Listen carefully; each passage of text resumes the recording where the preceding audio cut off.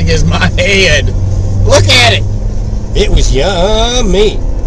For only a dollar forty-nine. Dollar thirteen. Dollar thirteen. Cheap, cheap. You can't beat that.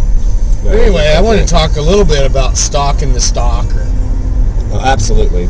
because we actually are turnkey when it comes to that, man. We we actually franchise uh, seminars that are given.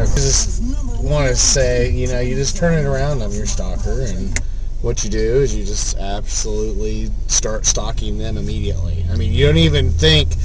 Is this a stalker? You just start stalking. So basically, every person you meet, you are honestly the stalker. Uh, I don't pretty- know. That's probably a little- information, John. That's probably overkill. That's probably too much information.